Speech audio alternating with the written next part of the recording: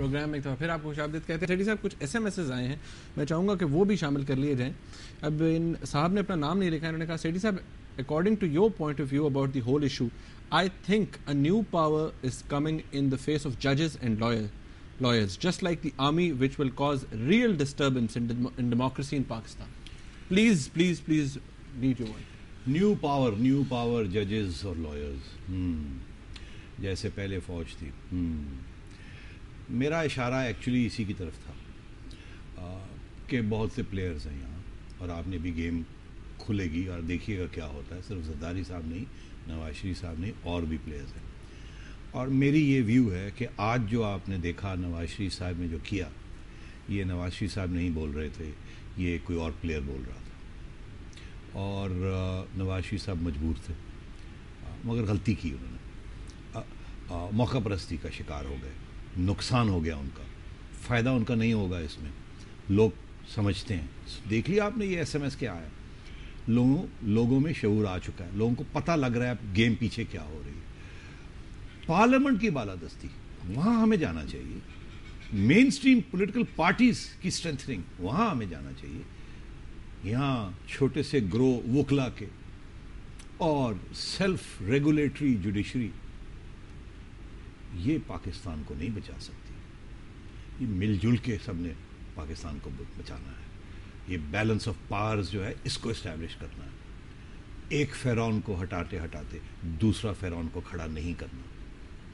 तो आपने देख ही लिया। और इसी तरफ़ मेरा इशारा था कि पहले इस किस्म के पैगाम फौज की तरफ़ से आते थे। अब कहीं और से आने शुरू हो गए। ये पाकिस्तान के लिए अच्छा दिन नहीं है। शेडी साहब हमारे साथ कॉलर हैं चौधरी तारिक साहब हैं लाहौर से। अस्सलाम वालेकुम जी।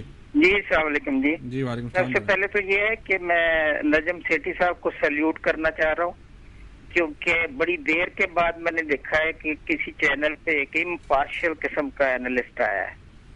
तो ये अप्रिसिएशन एक तो मैंने उनको देनी है और दूसरा ये है कि नजम सेठी साहब से पूछना है कि आज जो नवाज़ शरीफ साहब की प्रेस कॉन्फ्रेंस हुई है, जबकि वो हमेशा से कह रहे हैं कि ये सत्रहवीं तरमीम खत्म होनी चाहिए और कॉन्स्टिट्यूशनल अमेंडमेंट्स होनी चाहिए। और आज जबकि बिल्कुल ये बिल पेश होने वाला था तो इन्होंने ये जो प्रेस कॉन्फ्रेंस की है और जिसमें कोई भी चीज़ क्लियर कट सामने आई नहीं है कि क्यों इस तरह डिले किया गया है तो किसकी वजह से ये हुआ? है कौन सी फोर्सेज हैं जो दोबारा से बड़ी मेहरबानी शुक्रिया जी इन्हीं फोर्सेज की तो बात हो रही है जी अभी अभी इससे कबल मैंने यही बिल्कुल ज़िक्र किया। और मैं बिल्कुल खुला आपसे कहना चाह रहा हूँ ये ये फोर्सेस वही हैं हाँ, जिनके बारे में पिछले पूरे साल जद्दोजहद भी होती रही। हमारी सबकी कोशिश थी कि इन फोर्सेस को स्ट्रॉन्ग किया जाए मगर हम फेरौन नहीं चाहते कि ये फोर्सेस बन जाएँ। और अब हमारी मेन स्ट्रीम पार्टीज़ को डिक्टेशन करें पार्लियामेंट को डिक्टेशन करें ये ये मुनासिब नहीं है। और आप समझ रहे हैं कि मैं क्या कह रहा हूँ। शेडी साहब ये कैसे मैसेज मैं चाहूँगा ये ख्वाजा साहब हैं और उन्होंने मैसेज किया हमें कि जी नवाज़ शरीफ साहब कब तक आर्मी और जुडिशरी के कंधे पर चढ़कर गवर्नमेंट में आते रहेंगे?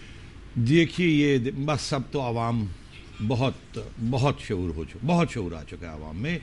बिल्कुल वही इशारा हो रहा है कि एक ज़माने में हम फौज के कंधों पे अपने बयान घटते थे और अब कुछ और होना शुरू हो गया है। ये ये बिल्कुल अच्छी बात नहीं है। अ, मैं समझता हूँ नवाज़ शरीफ साहब को हल्का सा एहसास आज के बाद हो जाएगा कि ये गलत काम किया उन्होंने। और मैं ये चाहता हूँ कि नवाज़ शरीफ साहब फौरी तौर पर जरदारी साहब को फ़ोन करें। और कहें कि जो भी मसाइल हैं हमारे हम पार्लियामेंट में ये डिस्कस कर लेंगे। ये स्पीच होनी चाहिए ये अमेंडमेंट को फ़ौर टेबल किया जाए और अगर कुछ चीज़ें रह गई हैं तो अगले दो तीन दिन में हम कर लेंगे मगर इसको मुलतवी ना किया जाए। नवाज़ शरीफ साहब को पीछे हटना चाहिए इस वक्त। नहीं तो उनका बहुत सख्त नुकसान हो जाएगा और मुल्क का बहुत नुकसान हो जाएगा। शेडी साहब नसीम साहब हैं हमारे साथ लाहौर से। अस्सलाम वालेकुम जी। वालेकुम सलाम जी। जी सवाल कीजिएगा। मैं सेठी साहब को सलाम अर्ज़ करना चाहता हूँ आपको भी। बड़ी मेहरबानी कि सेठी साहब मेरे ख्याल में इस वक्त माशाल्लाह बेस्ट साफी हैं और बहुत दलेरी के साथ हर बात करते हैं जो मैं इनको अप्रिशिएट करता हूँ। मैं इनसे अगर ये इजाज़त है तीन क्वेश्चन करना जल्दी, जल्दी जल्दी, जल्दी जनाब जल्दी जी। ये पहला क्वेश्चन मेरा ये है नवाज़ लीग वाले जो शोर मचाते हैं कि जी ये मार्शल मार्शल ये खुद भी मार्शल की पैदावार है। दूसरा पहला सवाल दूसरा सवाल ये है कि ये इन, इन, इन्होंने सुप्रीम कोर्ट में हमला करवाया।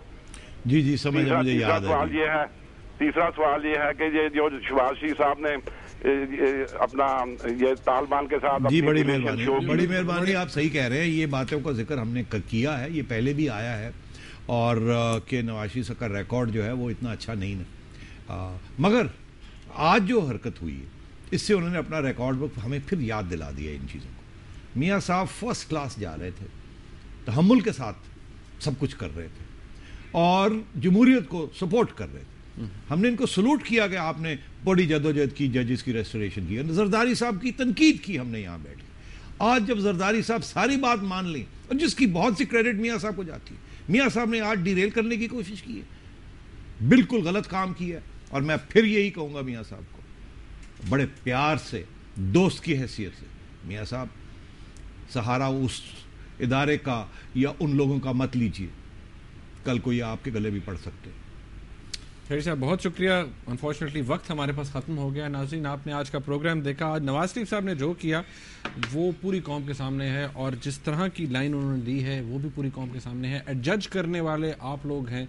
आपका भी एक तजिया हो सकता है। ज़रूरी नहीं कि आप हमसे एग्री करें या सेडी साहब से एग्री करें। इस प्रोग्राम का फीडबैक हमें ज़रूर दीजिएगा। देखने का बहुत शुक्रिया।